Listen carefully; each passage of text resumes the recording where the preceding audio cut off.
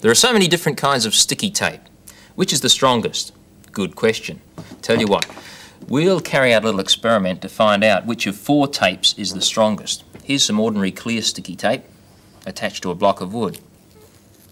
And it feels fairly strong. Piece of masking tape on a glass comes off very easily, doesn't seem very strong at all. Then a piece of that coloured vinyl tape on a sheet of cardboard, that certainly has a good grip In fact it's pulling off some of the cardboard as well, that does seem strong indeed.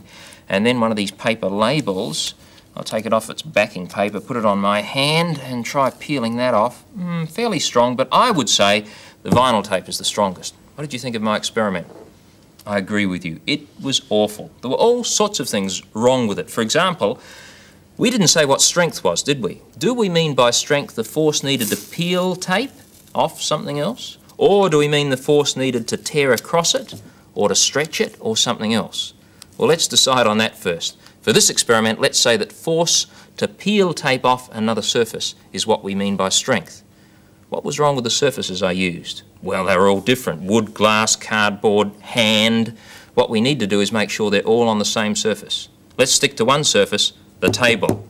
Laminated plastic. What else was wrong? Well, I had different lengths of tape and different widths. Let's make all of those the same as well. You've guessed it, I've already started the experiment here, doing it the proper way.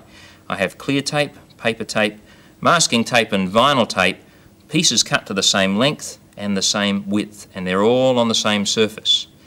Now, I could just peel them off and say, hmm, that one feels stronger than that one, but I'm sure you would prefer it if you could see some sort of measurement of that force.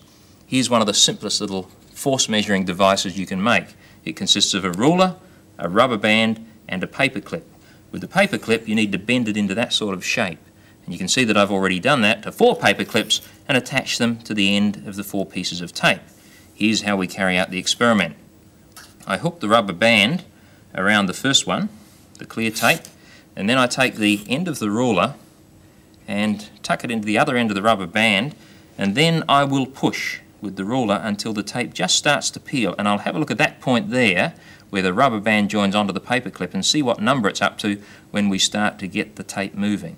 Starting to move now and we're up to 10, 10 and a half, 11, 11 and a half, 12 and it's moving smoothly along. So we'll say that that one needed a force of uh, 12, 12 something or others, we don't know what they are, but 12 is the figure.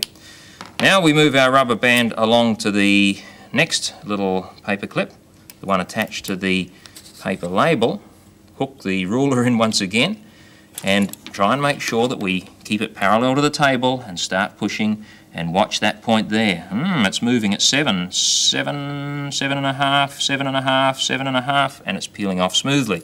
So that one has a score of seven and a half, which suggests it isn't as strong as the clear tape for this particular surface. Now we come along to number three, which is masking tape.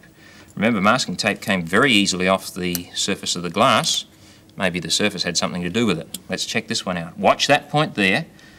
It goes up to 8, 9, 10, not moving yet. 10 and a half, 11, 12, 13, 15, 16 and it's starting to move, 16 and a half and it's moving smoothly, 17, 16 and a half, 17, about 17. That one certainly seems stronger than the first two and we give it a score of 17. Which brings us to the last one, the vinyl, which I guessed from my rough experiment at the beginning to be the strongest. So we hook the rubber band on and once again we put the ruler in place and start pushing and we're pushing smoothly parallel to the table and it's moving with a score of hmm, 11 to 11 and a half. So vinyl is 11 and a half. So according to that little experiment it seems as if the masking tape is the strongest for peeling off this particular surface. I want you to see if you can work out and carry out an experiment to check the strength of those four tapes or any other tapes you like to add against tearing across. What we've been doing here is to carry out a little scientific experiment. When scientists work, they often work in this way. They say, hmm, first of all I'll ask a question, then I'll make a guess at the answer, then I'll try and make sure that I keep everything else constant except the one thing that I'm going to watch and measure. That's a scientist at work. And there are many different kinds of scientists, and you'll find them all over the place.